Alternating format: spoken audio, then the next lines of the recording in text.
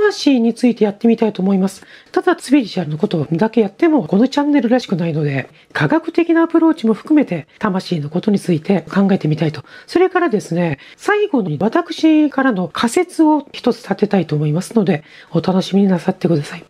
では、魂についてやってみたいと思います。まず、魂とは、肉体とは別に精神的実体として存在するとされる概念のことでございます。肉体から離れたり、死後も存続することが可能と考えられ、それだけで一つの実体を持つとされており、非物質的な存在でございます。英語ではソウル、スピリット、ラテン語ではアニマと言います。人間が生きている間はその体内にあって生命や精神の原動力となっている存在でございます。個人の肉体や精神を司る人格的、非物質的な存在でありまして、感覚による認識を超えた永遠の存在と考えられております。古代エジプトの時代から人は死ぬと肉体から離れるが、再び肉体に戻ってくるという考え方がありました。また、古代のインドでは、魂は何度もこの世に生まれ変わるという輪廻転生の思想が一般的でありました。世界にはあの世、霊界へ行ったり、この世、聖者の世界、現世移しように影響を及ぼしたりすると考える文化、思想が多く存在しております。人間だけではなく、命あるもの全般、動物や植物にも宿ると考えられていたり、さらには宝石などの鉱物にも霊魂が宿るとされることもあります。さて、魂の存在を皆さんどうですか？信じたいですか？信じてないですか？認めたいですか？認めたくないですか？存在を信じる信じないというよりも認める認めないという観点からいくと魂の存在を認めたいと思う人がかなり多いと思うんですよ。魂の存在を認めたい理由というものが実はね、検証されているんですよ。それはですね、生きること、生かされていること、死ぬことは辛く苦労や苦痛が伴います。自分が死んだ時、肉体と一緒に精神も消滅してしまったら、自分の存在が全て消滅してしまい、生き抜いた努力の意味がなくなってしまいます。それでは死が絶望的で悲しすぎてしまいます。どうせ死んだら何もなくなってしまうんだと自暴自棄になると生きがいを失ったり健康をおろそかにしたり社会に対して危害を加えたりするようになったりしましてそれでは世の中がすさんでしまいます。古来より多くの神話、宗教、哲学、芸術などが担ってきた重要な役割の一つは生死を含む世界観、生きること、生かされていること、死ぬことの意味の説明にあります。宗教からは人々の抱えるこうした重い問いに対して説明を提供するという重要な役割を果たしてきました。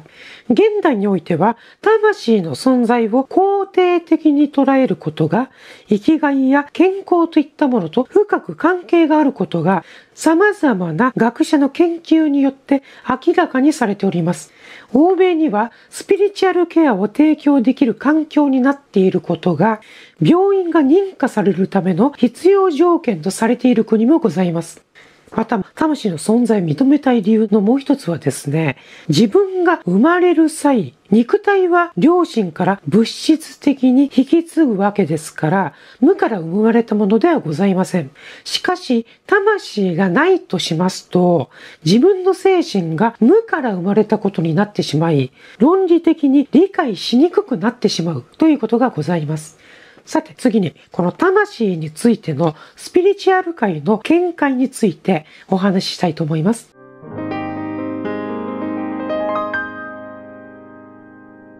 宇宙にはいくつかの宇宙人がおりますが、ブリアデス星人、アンドロメダ星人、シリウス星人、アルクトゥール星人などが地球に転生して地球人となることがしばしばあるとされております。また、地球人がそれらの異星人に転生することもあるとされております。つまり、魂の転生は地球の中だけにとどまらず、宇宙全体で転生し合っているということになります。詳しくは地球に飛来する宇宙人という動画を投稿しておりますので、ぜひご覧になってください。また、スピリチュアル界では、魂の次元上昇というものがございます。成長した魂は上の次元にアセンションするというものです。また、21世紀になってからネット界隈で広く普及したスピリチュアル論として、ソウルメイトというものがございます。ソウルメイトに関しては様々な考え方、諸説があり、またソウルメイトという名称自体にも異なる言い方がありますが、大体次のような意味合いで扱われている言葉でございます。一言で言うと、何度も輪廻転生する中で深くご縁のある魂ということでございます。共通の価値観や好みといった深い親和性のある相手、気性のあった人、初対面でも直感的に懐かしさを感じる人、ロマンチックな結びつきのある相手、運命の伴侶、特別な恋人、相思相愛の相手、互いに深い精神的なつながりを感じる。大切な人、深い絆を持つ人などを意味しております。ソウルメイトは異性、同性、どちらも存在して複数人存在します。家族や恋人、友人として出会うこともあれば、お医者さんやカウンセラーとして出会うこともあれば、仕事上のパートナーとして出会うこともあります。お互いに刺激や影響を与えながら様々な体験を通してお互いの魂を向上させていく仲間でございます。そしてこれも諸説ありますが、ソウルメイト中でもとりわけ絆の深いのがツインレイでございます。ツインレイとは、もともとは一つの魂だったものが二つに分けられたものでございます。魂がもっと多くの経験を積んだり、修行ができたりするように二つに分けられたと言われます。ツインレイのペアは、陰と陽、男性と女性という二面性を分け合った存在であり、出会った後は魂が一つの完全体と戻ることを目指して統合へと向かいます。そしてそれぞれの魂が輪廻転生を経て十分に成長していた場合、魂の統合ができると言われております。さて次はですね、魂の科学方面からのアプローチについて取り上げたいと思います。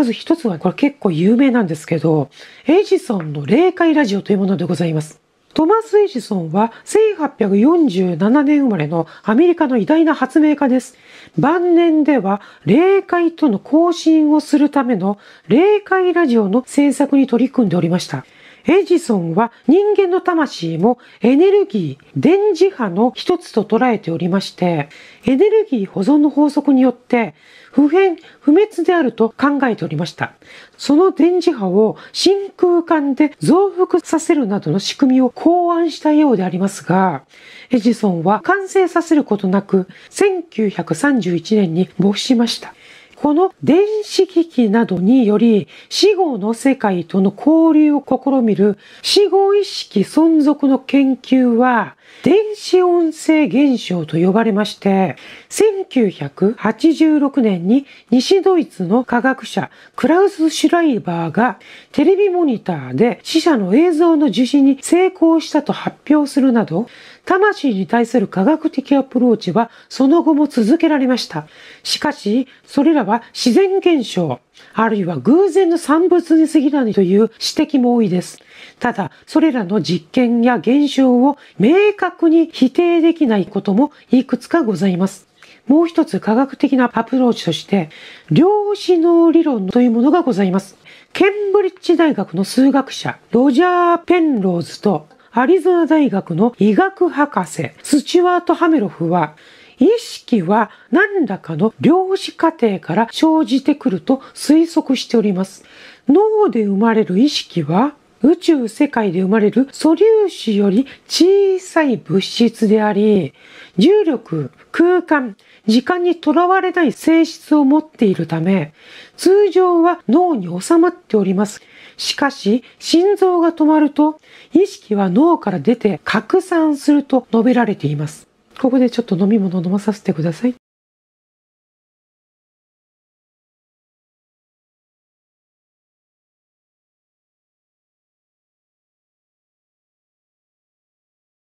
お待たせしました。さて、次はですね、自分という意識ということについて考えてみたいと思います。これはですね、なぜ私は私なのか。英語では Why am I me? というものでございます。これね、皆さん考えたことございますかね無限とある数ある魂の中で、なぜ現在自分の中に存在している魂を自分と感じるのか。なぜ私は他人の誰かではなく、この人物なのかということを考えたことがございますでしょうか。例えば、隣にいる A さんの中に宿っている魂をなぜ自分は自分と自覚しないのでしょうか。自分という感覚はなぜ A さんの中に入っていないのでしょうか？私だとこの私、近子の頭の中にあると自覚しているものが私。なぜこの私なんでしょうかね？どうして自分って感覚は一つしかないんですかね？不思議ですよね。私、近子は幼い頃からずっととこの疑問を抱いておりますが、話しても理解してくれる人が少なくてですね、心理学者の調査統計によりますと、この疑問を持つ人は10人に1人だそうです。この問題については、これまでに数多くの哲学者、心理学者、科学者などが解明しようとしましたが、いずれも正解という回答には至っておりません。ここからが本題に行きたいと思うんですけど、魂に関する私近くの仮説を述べたいと思います。単一魂宇宙仮説というものを唱えてみたいと思います。この世界には魂は実はたった一つしか存在しないという仮説です。その魂が時間を一ったり来たりして、つまり未来に向かうだけでなく、過去にも遡って、輪で転生してまた生まれ変わってっていうことするので、たくさんいる人間が、実は一つの魂だという仮説です。これは二つの科学的論理を根拠にした仮説です。その一つは、単一電子宇宙仮説、The One Electron Universe というものでございます。この世界には電子はたった一個しか存在しておらず、その一個の電子が時間を行ったり来たりして、世界にたくさん電子があるように見えるのではないかとする仮説でございます。これは1940年春にアメリカ合衆国の物理学者ジョン・ホイーラーの電話によって、電話の相手、アメリカ合衆国の物理学者リチャード・ファインマンへ提案された仮説でございます。これについては詳しくは映画テネットの解説動画2でご説明しておりますので、そちらの、ね、動画の方を回してご覧ください。さて、もう一つの科学的論理は多気温通信です。質量が虚数のため、常に高速よりも速く移動する仮想上の粒子タキオンを電波や光のように通信に利用すると、特殊相対性理論に基づき、過去に情報が起こることができます。詳しくは、未来人国部霊さんの2の動画で説明しております。つまり、私近くの仮説では、魂はタキオンでできているということです。タキオンでできているから、魂が過去の人物として転生することもできますし、遠く離れた異星人として転生することもできるというわけです。単一魂宇宙仮説では、他人に生まれ変わるという転生輪廻の考え方に基づいていますし、また、キリスト教における自分自身として生き返るという復活の考え方も矛盾なく含むことができます。また、魂は一つしか存在してないわけですから、他人という魂はなく、自分と感じる魂のみが存在することになります。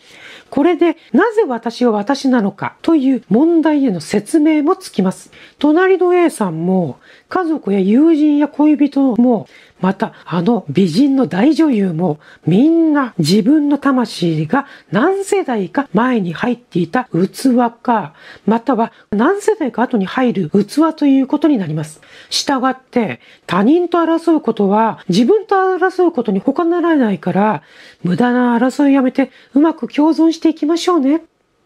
でもね、なんかね、この仮説、心象的に嫌ですよね。そうですよね。嫌ですよね。だって、絶対に仲良くなれない人、絶対に理解できない人って誰にだっているじゃないですか。大嫌いなあの人が自分を悪くしたあの人が何世代か前の自分、何世代か後の自分だなんて信じたくないですよね。そこで、この単一魂宇宙仮説を発展させたのが次の仮説でございます。これがね、本当に私が申し上げたい仮説でございます。それはですね、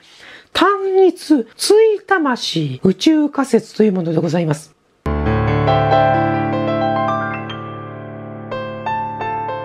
単一追魂宇宙仮説は、この世界にはペアである魂がたった一つ存在するということでございます。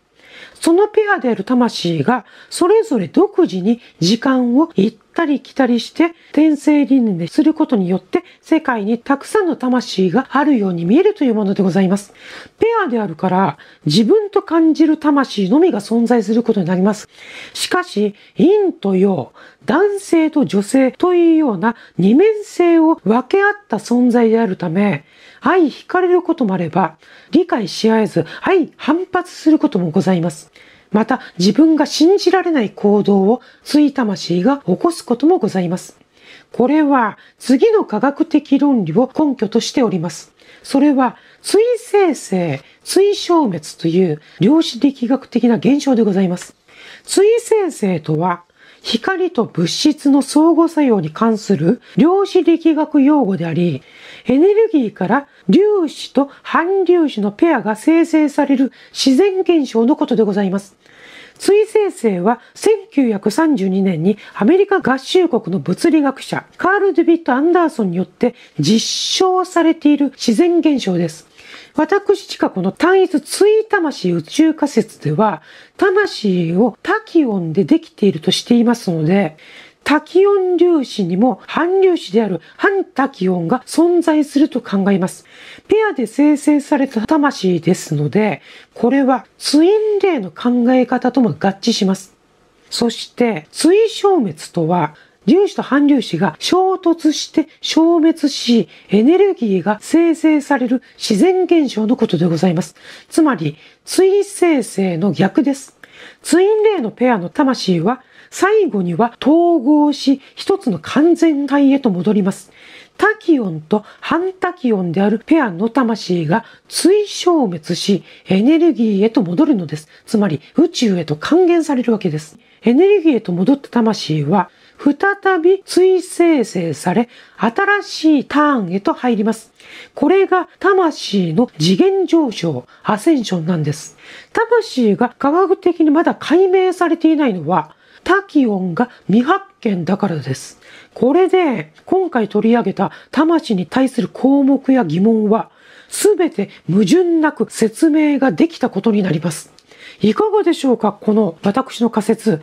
単一追魂宇宙仮説は。この仮説は検証しておりませんので、この動画は論文にはなり得ません。しかし、この仮説が検証できれば、私はノーベル賞候補ですかね。で、またこれね、演出を考えてお膳立てすれば、地下国境を回収できますよね。ただね、私近くは宗教家にはなりたくないですし、クリエイターですので、この単一追魂宇宙仮説のアイデアを用いて、どなたかが映画を作っていただけると、そして私を原案としてクレジットしていただけるととても嬉しいでございます。もしご興味のある監督さんや映画関係者様がいらっしゃいましたら、ご連絡いただけると嬉しいでございます。